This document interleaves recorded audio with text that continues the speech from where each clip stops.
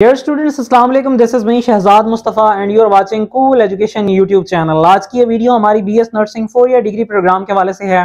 और आज के इस वीडियो में स्टूडेंट्स के कुछ क्वेश्चंस हैं, कुछ अहम बातें हैं, जिसको मैं आपके साथ शेयर करूँगा। लेकिन वीडियो शुरू करने से पहले आपसे रिक्वेस्ट है कि अगर आप हमारे चैनल पर पहली मरतबा वीडियो देख रहे हैं तो चैनल को सब्सक्राइब करें।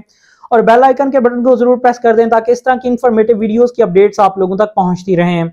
तो सबसे पहले बात कर लेते हैं कि जो नर्सिंग के लिए स्टूडेंट्स ने अप्लाई किया था, उसके बाद आप लोगों को टाइम दिया गया था कि आपकी जो भी मिस्टेक्स हैं, वो आप लोग ठीक करवाएँ। यानी कि 28 तारीख तक आप लोगों को टाइम दिया गया था। उस टाइम स्लॉट में ऐसे स्टूडेंट्स थे जिनके एफएससी के इम्प्रूवमेंट के रिज़ल्ट आए थे तो उन्होंने अपना वो इम्प्रूव रिज़ल्ट कार्ड सबमिट करवाया था। वो रिज़ल्ट कार्ड सबमिट करवाने के बाद अट्ठाईस तारीख लास्ट डेट थी, जिसके बाद स्टूडेंट्स के मार्क्स अपडेट कर दिए गए थे। यानी कि जिन्होंने एडमिशन से पहले अपने प्रीवियस ओल्ड रिज़ल्ट कार्ड पे एडमिशन के लिए अप्लाई किया था, उसे अपडेट करवाने के बाद फिर नया रिज़ल्ट कार्ड अपलोड करवाया था। जब नया रिज़ल्ट कार्ड अपलोड हो गया तो उसके बाद फिर जब आप जानते हैं कि एडमिशन अनाउंस हुए थे तो उसमें डिपार्टमेंट की तरफ़ से क्लियरली ये मेंशन था कि न्यू रिज़ल्ट कार्ड अपलोड नहीं करवाएँगे, यानी कि वो डेडलाइन दी गई थी, उस डेडलाइन तक से पहले जिन स्टूडेंट्स के एफएससी क्लियर होगी, वो वाले स्टूडेंट्स अप्लाई कर सकते हैं। उसके बाद जो नए स्टूडेंट्स इंप्रूव करवा के आएँगे तो वो अप्लाई नहीं कर पाएँगे, यानी कि वो प्रीवियस मार्क्स भी अप्लाई कर पाएँगे। तो उसके बाद स्टूडेंट्स को दोबारा ये मैसेज भेजा गया कि आप लोगों ने अपने एफएससी के मार्क्स अगर अपडेट करवाए हैं तो उनको दोबारा चेक करें, दोबारा स्टूडेंट्स को एक्सेस दी गई थी। उन्होंने अपना प्रीवियस ओल्ड वाला एफएससी का रिज़ल्ट कार्ड अपलोड किया। तो उसके बाद स्टूडेंट्स को आपको पता है, छह तारीख तक टाइम दिया गया। पहले ग्रीवियंस के लिए अट्ठाईस तारीख तक टाइम था, फिर एक तारीख तक टाइम दिया गया। उसके बाद फिर दोबारा स्टूडेंट्स को स्टूडेंट्स के पास ये मैसेज आया और उनको छह तारीख तक टाइम दिया गया। छह तारीख को स्टूडेंट्स ने लास्ट डेट थी जब उन्होंने अपनी ग्रीवियंस के लिए अप्लाई किया था और अपनी जो भी मिस्टेक्स थी करेक्ट करनी थी। उसके बाद फिर आप लोग जानते हैं कि जब स्टूडेंट्स ने ओल्ड रिज़ल्ट कार्ड्स अपलोड किए तो उसके बाद अगेन जो मेरिट था वो कम होने के चांसेस हैं अब। जैसा कि पहले मैंने आपको एक्सपेक्टेड मेरिट बताया था 938 उसके बाद दोबारा कुछ स्टूडेंट्स ऐड हुए थे तो सॉरी उसके बाद फिर मैंने आप आप लोगों को कहा था कि 933 तक मेरिट आएगा। तो फिर दोबारा स्टूडेंट्स ऐड हुए तो मैंने दोबारा आप लोगों को कहा था 938 दोबारा। अब दोबारा स्टूडेंट्स के मार्क्स कम हुए हैं, नए स्टूडेंट्स ने रिज़ल्ट कार्ड ऐड करवाए हैं तो सेम एज इट वही जो मैंने पहले एक्सपेक्टेशन बताई थी, उन्हीं के उन्हीं के मुताबिक ही मेरिट आएगा, यानी कि 932 933 तक जाने के चांसेस हैं। अब बात करते हैं जो अहम बातें मैंने आप लोगों के साथ शेयर करनी है वो। तो यहाँ पे सबसे पहली बात जो है, वो ये है कि जैसे ही पहली मेरिट लिस्ट लगेगी लिस्ट लगने के फ़ौरन बाद आप लोगों को बुलाया जाएगा, आप लोगों को टाइम दिया जाएगा कि आप लोग आके अपनी ज्वाइनिंग दें। तो आप लोगों ने जहाँ भी, जिस भी कॉलेज में आपका नाम आएगा, वहाँ पे जाके ज्वाइनिंग देनी होगी। कुछ स्टूडेंट्स ऐसे होते हैं जो ये सोचते हैं कि हमारा पहली लिस्ट में नाम आ गया है, हम यहाँ अब ज्वाइनिंग नहीं देते। जब दूसरी लिस्ट लगेगी तो हमारा दूसरा ना, दूसरी मरतबा नेम आ जाएगा किसी और कॉलेज में। तो ऐसा बिल्कुल नहीं होगा। आप लोगों का एक दफ़ा नाम आएगा, आप लोग वहाँ पे जाके ज्वाइनिंग लाजमी देंगे। अगर आप लोग ज्वाइनिंग नहीं देंगे तो ज्वाइनिंग ना देने की सूरत में आप लोगों का जो नाम होगा, वो निकाल दिया जाएगा लिस्ट में लिस्ट से, यानी कि अगली आने वाली किसी भी लिस्ट में आप लोगों का नाम नहीं आएगा। नंबर दो यहाँ पे दूसरी अहम बात यह है कि अगर आप ज्वाइनिंग नहीं देते और आप लोग ये सोचते हैं कि इस साल हमारा किसी दूर के कॉलेज में एडमिशन हुआ है तो नेक्स्ट ईयर जब दोबारा एडमिशन होंगे तो हम दोबारा से अप्लाई कर लेंगे और फिर हमारा एडमिशन हो जाएगा। तो ऐसा भी बिल्कुल नहीं होगा। अगर एक दफ़ा आप लोगों का लिस्ट में नाम आ जाता है और आप लोग अपना एडमिशन सिक्योर करने वहाँ पे नहीं जाते, यानी कि ज्वाइनिंग देने नहीं जाते तो उस सूरत में नेक्स्ट जितनी भी दफ़ा नर्सिंग के एडमिशन आप लोग आएँगे तो आप लोगों को चांस नहीं दिया जाएगा। यानी कि आप लोग जब भी अप्लाई करने लगेंगे तो आप लोगों का मैसेज आएगा आगे से लिखा हुआ कि ऑलरेडी इन ज्वाइनिंग स्टेट यानी कि आप लोगों को दोबारा ये चांस नहीं दिया जाएगा, क्योंकि ये इसलिए, इस तरह कंसिडर किया जाता है कि आप लोगों ने किसी की सीट खराब की है। या फिर ऐसा हो सकता है कि आप लोग ज्वाइनिंग दे देते हैं, दो चार माह महीने पढ़ते हैं और उसके बाद फिर आपका माइंड सेट चेंज होता है कि ये दूर का कॉलेज है, हम यहाँ पे नहीं रह सकते। दोबारा एडमिशन हो जाएँगे, हम दोबारा अप्लाई करेंगे तो दोबारा हम आ जाएँगे। तो ऐसा भी नहीं होगा। अगर आप छोड़ के भी आ जाते हैं तो उस सूरत में आप फिर भी दोबारा कभी अप्लाई नहीं कर पाएँगे। तो ये तो कुछ अहम बातें थी जो मैंने आप लोगों के साथ शेयर की इसके बाद जब आप लोगों का एडमिशन हो जाएगा तो स्टूडेंट्स रजिस्ट्रेशन फ़ी के हवाले से पूछते हैं कि रजिस्ट्रेशन फ़ी कितनी होगी कब तक देनी होगी ये वो इस तरह के स्टूडेंट्स के माइंड में क्वेश्चन आते हैं या फिर डॉक्यूमेंट्स के हवाले से भी स्टूडेंट्स पूछते हैं।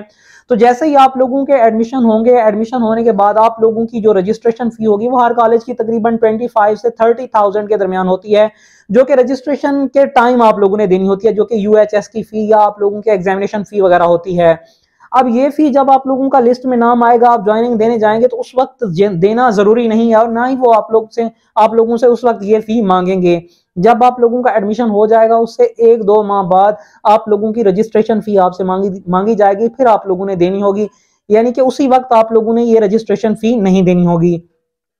अब अगली बात आती है कि स्टूडेंट्स डॉक्यूमेंट्स के हवाले से पूछते हैं कि कौन से डॉक्यूमेंट्स हमने लेके जाने हैं।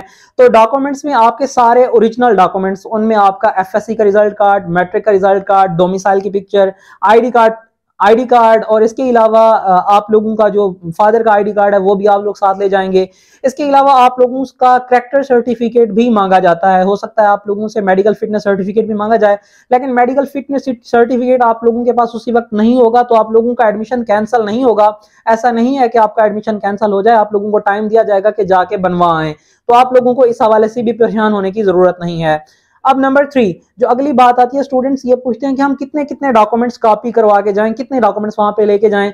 तो ये ज़रूरी नहीं है कि आप लोग यहाँ से डॉक्यूमेंट्स कॉपी करवाते रहें। जैसे ही आप लोगों का लिस्ट में नाम आता है तो उसके बाद आप उस कॉलेज में जाएँ, जिसका, जिसमें आप लोगों का नाम आया है। वहाँ पे अपने सारे ओरिजिनल डॉक्यूमेंट्स लेके जाएँ और वहाँ पे एफिडेविट बनाने वाले और सारी चीज़ें करने वाले वहाँ पे बैठे होते हैं। वो आपको गाइड भी करते हैं और आप लोगों को बताते भी हैं। तो जो चीज़ें वहाँ पे चाहिए होंगी, वो आपको वहीं पे करके दे देंगे। फ़ोटो स्टेट वाली मशीन भी वहाँ पे अवेलेबल होती हैं। आप लोगों को किसी किस्म की कोई परेशानी की ज़रूरत नहीं है। अब अगला सवाल, जो मोस्टली स्टूडेंट्स की तरफ़ से पूछा गया है, वो ये पूछा गया है कि जब हमारा एडमिशन हो जाएगा तो एडमिशन होने के बाद हम स्टूडेंट्स को स्टाइपेंड कब से मिलना शुरू होगा? यानी कि वजीफा कब से मिलना शुरू होगा? तो जैसे ही आप लोगों का एडमिशन होता है तो उसके बाद एक से दो से तीन माह आप लोगों का प्रोसेस होता है कि आप लोगों के अकाउंट्स क्रिएट होते हैं, और उसके बाद ये सारी वेरिफिकेशन वगैरह होती हैं, वो कंप्लीट हो जाती हैं, वो कंप्लीट होने के बाद आप लोगों को तक तीन माह के बाद आप लोगों का तीन महीनों का इकट्ठा स्टाइपेंड दिया जाता है। यानी कि यूँ समझ लें कि थर्टी है तो तीन माह के बाद आपको एक लाख के करीब करीब रकम दी जाती है एक साथ। तो ये वो कुछ क्वेश्चन थे स्टूडेंट्स के माइंड में जो वो पूछ रहे थे। इसके अलावा एक्सपेक्टेड मेरिट का पूछ रहे थे। तो एक्सपेक्टेड मेरिट जो है, वो 933 932 जो मैंने ऑलरेडी आप लोगों को बताया था, यहीं तक आएगा। यानी कि 930 से 940 के दरमियान ही मेरिट रहना है। और बाकी जितने भी लिस्टें लगेंगी तो डिक्रीज होकर 925 तक जाएगा। या फिर हो सकता है कि इससे कुछ ज़्यादा मार्क्स रहे, इसके, इससे कम होने के चांसेस नहीं है। ताम, जैसे ही लिस्ट लगेगी तो ये तो फाइनल चीज़ तभी पता लगेगा फाइनल तो उसी वक्त ही पता लगेगा जब ये लिस्ट लगती है। जैसे ये लिस्ट लगेगी, आप लोगों को इस चैनल के थ्रू इन्फॉर्म कर दिया जाएगा। इसके अलावा आप अपडेट्स के लिए हमारा व्हाट्सअप ग्रुप भी ज्वाइन कर सकते हैं। व्हाट्सअप ग्रुप ज्वाइन करने के लिए स्क्रीन पर दिए गए नंबर पर व्हाट्सअप करके आप मैसेज करके भी ग्रुप ज्वाइन कर सकते हैं। फीमेल्स वाला सेपरेट ग्रुप है, वो भी ज्वाइन कर सकते हैं। या अपडेट्स के लिए आप हमारा ग्रुप भी ज्वाइन कर सकते हैं। ग्रुप ज्वाइन करने के बाद आप लोगों को ग्रुप्स में सारी इन्फॉर्मेशन और सारी अपडेट्स बता दी जाती हैं। ऐसे स्टूडेंट्स जिनको पता नहीं चलता या दूर दराज के इलाकों से होते हैं तो उन्हें इन्फॉर्मेशन नहीं मिल रही होती तो व्हाट्सअप ग्रुप के थ्रू उन्हें सारी अपडेट्स मिल जाती हैं। तो आप लोग वो व्हाट्सअप ग्रुप लाजमी ज्वाइन करें। लास्ट में आप लोगों से ये कहना था कि जब आप लोगों के एडमिशन हो जाएँगे तो उस एडमिशन के बाद हमारा प्रॉपर नर्सिंग की प्रिपरेशन के लिए एक टेस्ट सेशन अनाउंस होता है। वो टेस्ट सेशन आप लोग लाजमी ज्वाइन करें। उसमें ये होता है कि आप लोगों को एग्ज़ाम के पॉइंट ऑफ़ व्यू से तैयारी करवाई जाती है। और मजीद आप लोगों के जब एडमिशन हो जाएँगे तो उस वक्त आप लोगों की जो बुक्स होंगी, वो भी आप हमारे थ्रू ले सकते हैं, हमें ऑर्डर कर सकते हैं। आप तक ये बुक्स डिलीवर कर दी जाएँगी। आई होप आज की वीडियो आप लोगों के लिए हेल्पफुल रही होगी। मजीद ऐसी वीडियोस के लिए हमारे चैनल को सब्सक्राइब करें। मिलते हैं नेक्स्ट वीडियो में। Tell then take care remember mean your special prayers Allah हाफिज़।